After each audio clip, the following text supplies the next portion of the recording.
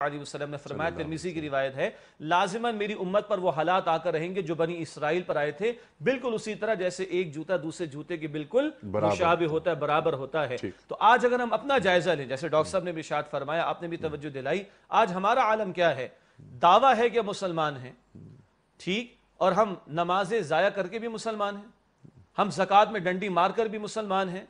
हम रोजों को जानबूझकर छोड़कर भी मुसलमान हैं। हम हज जो कि फ़र्ज़ हो साहिब सितात की बात हो रहा हूँ हाँ। वो जाया किए बगैर भी मुसलमान हैं। हम सूद खोरी करके अल्लाह और अल्लाह के रसूल सलाम से जंग के मुर्तकब हों हम तब भी मुसलमान हैं। हम बेहयाई को प्रमोट करके जो है वो फैलाकर अल्लाह के गजब को दावत दे हम फिर भी मुसलमान हैं। हम मिलावट करें हम फिर भी मुसलमान हैं। और हमारी तमन्ना क्या है? आज हमसे कोई पूछे कि यहूदी कहाँ जाएगा? हम फट कहते हैं कि जहन्नम में जाएगा। नसरानी कहाँ जाएगा? हम फ़ौरन कहते हैं जहन्नम में जाएगा। फला काफिर कहाँ जाएगा? वो फ़ौरन कहते हैं जहन्नम में जाएगा। और हम कहाँ जाएँगे? हम जन्नत में जाएँगे। इज़ इट सो सिंपल क्या जन्नत अल्लाह की इस कदर आसान है? तो अल्लाह ताला पहले हमें भी फरमा दे तुम्हारी तमन्नाओं से कुछ नहीं होगा।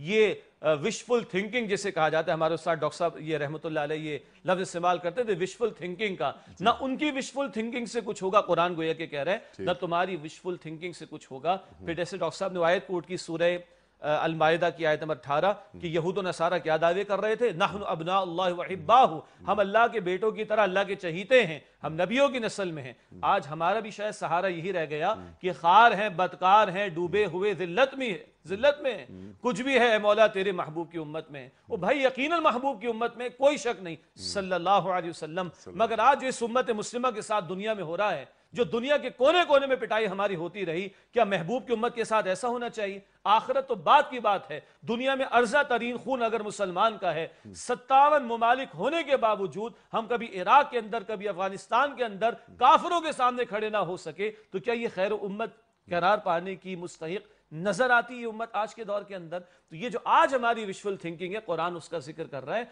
ना उनकी तमन्नाओं से कुछ होगा, ना तुम्हारी तमन्नाओं से कुछ होगा। जब आप गुफ्तु फरमा रहे थे तो बहुत सादा सी बात दिल में आई थी। आप मुझे बताइए अनिक साहब, पचास हज़ार की तनख्वाह है मेरी अगर, क्या तमन्नाओं से मिलती है मुझे कभी? घर बैठे कभी मुझे मिलती?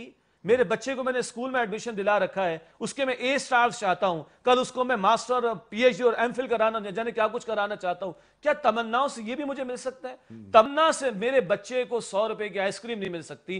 तमन्ना से मुझे और आपको बहस तमन्ना करने से पचास हज़ार की तनख्वाह नहीं मिल सकती। हम्म। आप और मैं हम तमन्ना करके चाहें कि अल्लाह मिल जाए अल्लाह के रसूल मिल जाए और अल्लाह की जन्नत मिल जाए और आखिरत की अबदुल आबाद की हमेशा की ज़िंदगी की कामयाब मिल जाए हम किस खुश फहमी के अंदर मुबतला है। तो कुरान इस मकाम पर बेअमली खुश फहमी विशफुल थिंकिंग की नफी करके बंद मोमिन को एक मुतहरिक ज़िंदगी जो अमाल सालिहा वाली हुई। आगे हम बात करेंगे फकत अमाल की बात नहीं करता कुरान यहाँ तो हाँ ईमान के साथ और सालिहात का ज़िक्र अगली आयत के अंदर आएगा। हम बात करेंगे अलग से। तो बुनियादी मैसेज महज अपने आप को तमन्नाओं तक महदूद ना रखो। और बहुत अच्छी बात आई कि हम किसी नसब के साथ ताल्लुक़ रखते हों कि मैं फ़ला की नस्ल में से हूँ।